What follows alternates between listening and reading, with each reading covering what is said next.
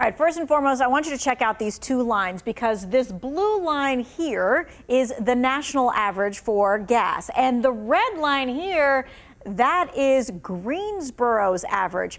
April of 2020, we were all paying a buck 59 for a gallon. And a year and a half later, the Greensboro area average is $3.15 a gallon. The U.S. is $3.32 a gallon.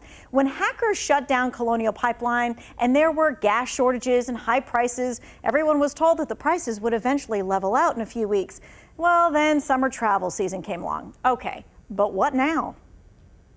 I was like, good Lord, what did happen? Did something else happen? Did I miss something? I don't like it. Seriously, why is gas well over the $3 mark? Well, Patrick De Haan from GasBuddy says there are three main reasons. And it's all really supply and demand brought on by COVID. Remember early in the pandemic when Americans parked their cars and, and gas prices plunged while oil companies started to shut down a lot of their uh, drilling and production, letting all right, so that was number one. Guess what? OPEC, the organization of the petroleum exporting countries, they're not moving quickly either, like the U.S. is not moving quickly. De Haan says OPEC won't be producing to pre pandemic levels until 2022. And even though they've had meetings about the production, even just two weeks ago, they're choosing not to increase production, and politics could be to blame. That's number two.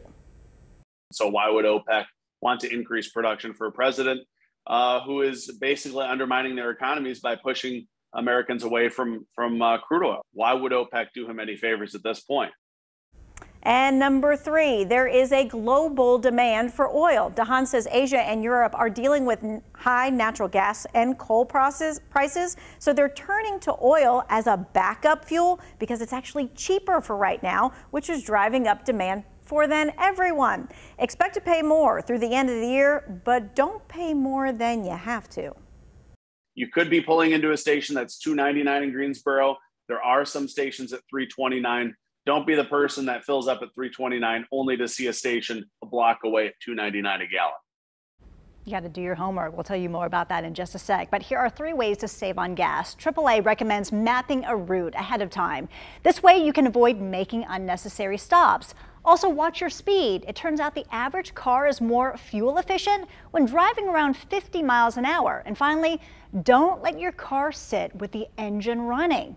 AAA says the engine consumes a quarter to a half gallon of fuel per hour when it's idling. You can also find the cheapest gas in your area on our free app and also on WFMYnews2.com. Several gas stations in Greensboro and High Point are selling regular unleaded for $2.88 a gallon.